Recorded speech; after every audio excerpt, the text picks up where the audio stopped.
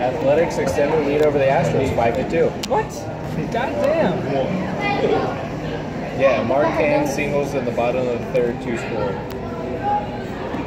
I'm a single. I mean, somebody was booking it.